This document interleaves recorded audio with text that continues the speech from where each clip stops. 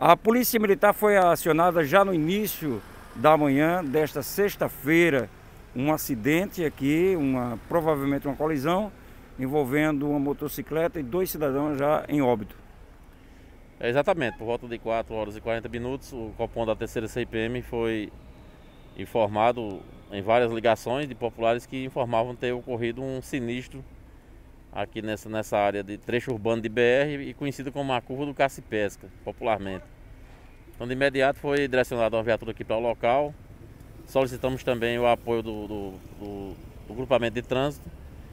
E estamos aqui nesse, nesse momento é, fazendo o, o, o trabalho de isolamento, tendo em vista que é um local bem movimentado de acesso à capital do estado e aguardando aqui tão somente a Polícia Rodoviária Federal, que, é a, a que tem competência para é, atender aqui a, a, a ocorrência do, do, que tange a questão de, de, de, de, trânsito sinistro, bem como aguardamos também o, o ITEP e perícia técnica para periciar o local.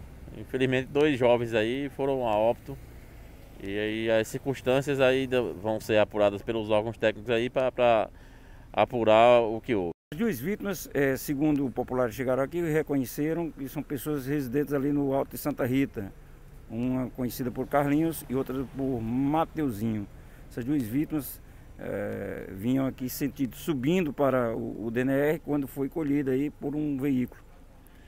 Exatamente. É, segundo populares que chegou aqui ao local, já preliminarmente identificaram é, as duas vítimas Outro ainda narrou, que agora há pouco, que teria tido contato com os mesmos e que estaria no centro da cidade, na, na, nas praças centrais, é, fazendo ingestão de bebida alcoólica.